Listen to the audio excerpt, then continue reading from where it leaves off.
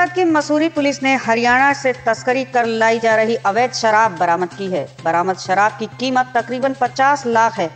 Police ने शराब सहित एक शराब तस्कर एवं एक ट्रक भी बरामद किया है, जबकि एक शराब तस्कर मौके से फरार हो गया।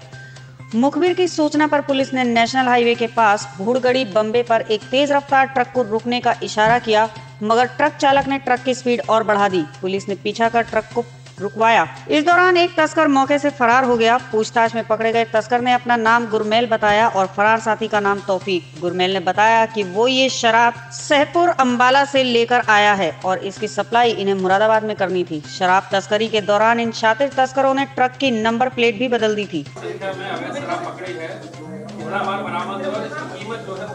देखिए, मसूरी पुलिस टीम द्वारा एक आयसर कैंटर में 570 पेटी शराब, जो इंग्लिश शराब है, वो पकड़ी गई है और ये हरियाणा से लेकर लाई जा रही थी। इसमें एक अभियुक्त की गिरफ्तारी हुई है और इसकी कीमत लगभग 50 लाख रुपए है। सर, ये नेक्सस जो है शराब बहुत रोकने के लिए आपकी तरफ़ से क्या कदम उठाए पहले भी शराब की बड़ी बरामद है। देखिए, ये क्योंकि ये इसी साइड से शराब आती है, हरियाणा से आने का रास्ता यही है तो लगातार इसमें कार्रवाई चलती रहती है और इसका रोकने का एक ही तरीका है कि प्रॉपर चेकिंग अच्छे से हो, जो नेक्सस है, एंड तक उस उस तक पुलिस जाए, उन्हें उन्हें जेल भेजे, तभी ये नेक्सस टूट सकता है और उस पर हमारी पुलिस कार्रवाई कर रही है। पिछले तीन चार महीने में काफ़ी बड़ी संख्या में मसूरी पुलिस द्वारा और दूसरे थानों की पुलिस द्वारा शराब की बरामदगी की गई है और निश्चित रूप से इससे जो तस्करी है शराब की उस पर फ़र्क पड़ेगा।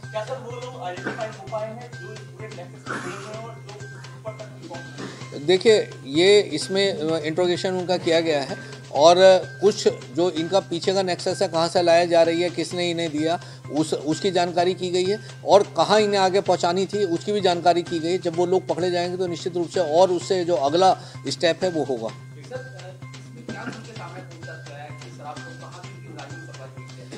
देखिए, ये ये सब, ये जो शराब थी, ये तो अपनी, अपने उत्तर प्रदेश के विभिन्न डिस्ट्रिक्ट्स में सप्लाई होनी थी। लेकिन ये क्योंकि हरियाणा में और यहाँ में, यहाँ के टैक्सेशन में शराब के फ़र्क है, वहाँ की शराब सस्ती यहाँ पर बिकती है। तो इस वजह से भारी मुनाफे के कारण ये लोग अपना शराब वहाँ से लाकर यहाँ पर बेचते हैं।